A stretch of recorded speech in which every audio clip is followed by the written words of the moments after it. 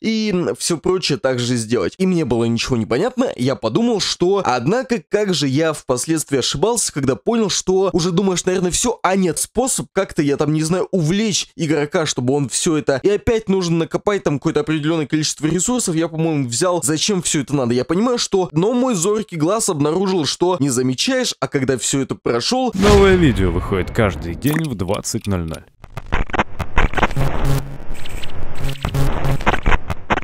Ролик сделан при поддержке Arizona RP. Вся дополнительная информация в описании.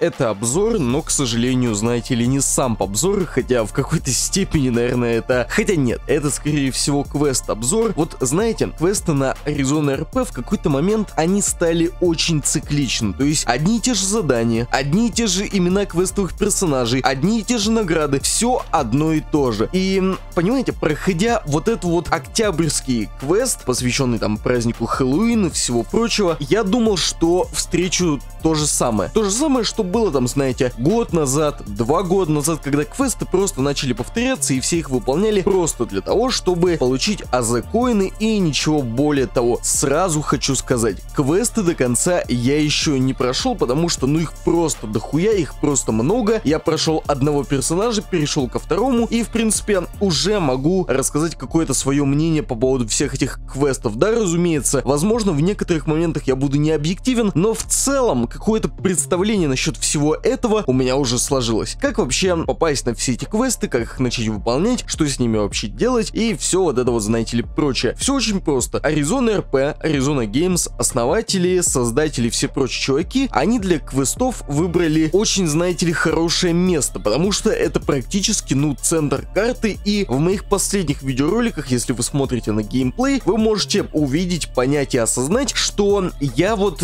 чисто проходил квест, я заходил на Arizona РП, просто для того, чтобы, знаете, попроходить квесты, чтобы хоть как-то разнообразить весь этот видеоряд и все прочее также сделать. Вообще, наверное, стоит пробежаться кратенько по квестам, что нам нужно было сделать, какие награды за все это шли, и вот, знаете ли, все это прочее. Самый первый квест, который тебя встречает, когда ты приезжаешь на эту площадь, это у нас квест по поводу того, что нужно развести подарки. Когда я вот только приехал, только решил повыполнять все эти квесты, я еще ничего не знал, был абсолютно зеленым, и мне было ничего не понятно, я подумал, что, ну, вполне возможно, они будут те же самые. Вот те, которые они были до этого, то есть все то же самое, принеси, подай, иди нахуй, не мешай, и все вот это вот прочее. Однако, как же я впоследствии ошибался, когда понял, что квесты действительно сделали разными. То есть квесты в самом деле отличаются друг от друга. Поначалу ты, да, разносишь подарки, и вот у меня претензия. Постоянно вот такая у меня будет претензия ко всем этим разработчикам квестов, всего прочего. Что на сам ПРП, квесты пиздец какие большие, тем более, когда ты только заходишь в игру, там квесты просто ебанутейшие какие-то. Ты их проходишь, проходишь, 50 кустов там, там, я не знаю, 20 мешков вот там, зачем так дохуя, я просто не понимаю. И тут также, ты катаешься по домам, в тот дом, в этот дом, в тот дом, в этот дом, уже думаешь, наверное, все, а нет, в тот дом, этот дом, этот дом, тот дом, тот дом, и по итогу просто охуеваешь, чуваки, блять, сколько можно, все, я понял, что я развожу подарки, я понял, что мне за это должны дать азы-коин, все, трех-четырех вполне хватит хватит. Но там же ты катаешься, там домов 8, наверное, проезжаешь. Это вообще какой-то пиздец, нахуя. А самый последний дом, в который нужно было приехать, он вообще в какой-то залупе находился. Туда, блядь, приедешь, машину уже 500 раз раздолбаешь. Нахуя так много? Я не понимаю. Зачем? Для чего? Просто, блядь, что это?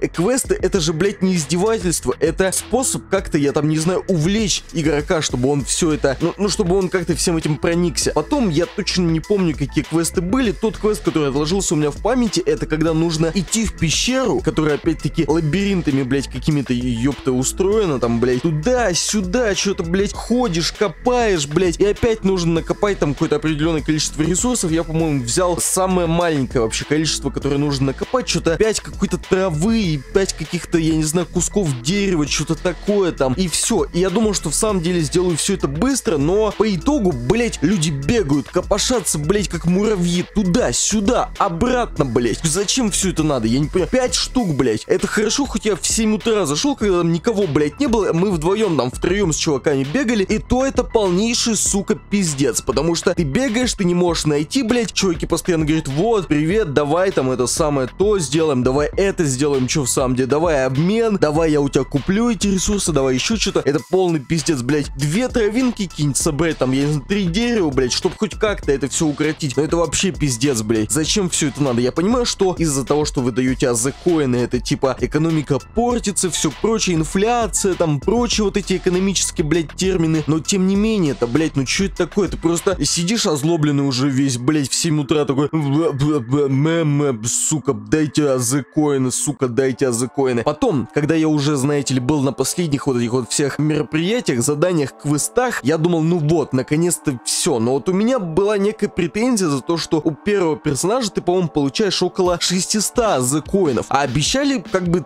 около 1000. Я нихуя не понимаю, но мой зоркий глаз обнаружил, что есть еще один квестовый персонаж, у которого также есть, блять, миллиард заданий. И опять ты ездишь, там делаешь что? Копаешь какие-то тыквы, блять, сажаешь прочих, или это еще у того все было. Тем не менее, квесты, блять, хоть они и не похожи на те, не, они похожи на те, которые были раньше, но теперь они хотя бы более-менее как-то изменены, потому что вот, по-моему, в мае какого-то года квесты были прям пиздец какие, блять, похожи друг на друга, и просто там даже еще Луняша была жива, это какой год-то? 2017 19 может быть, я не знаю. Луняша еще была жива, даже она говорила, что это вообще пиздец, хотя бы взять, что она, даже она похуй, просто пиздец, ты ходишь, выпон, почему нельзя их полегче-то сделать, эти квесты, нахуя, и нахуя вот это, и чуваки, у которых, блять, маленький level, они и так их выполнить не смогут, то есть абузить вообще хуй можно, я, я не знаю, их вообще почти не заабузить, зачем вот это вот вся ёбля-то, блять, сделайте квесты полегче, сделайте, чтобы не нужно было там, я не знаю, 500 грядок вспахивать, нахуй все это надо, чуваки, это ж пиздец какой-то, блять, это никому не надо, это говно, это никому не нравится, это, блять, не нужно никому нахуй вообще никогда. Но в целом, если вот так, знаете, смотреть на квесты в каком-то вакууме, в каком-то вот времяпрепровождении на сервере, в прочих вещах, то время, конечно, пролетает незаметно, ты его вообще не замечаешь, а когда все это прошел, начинаешь вот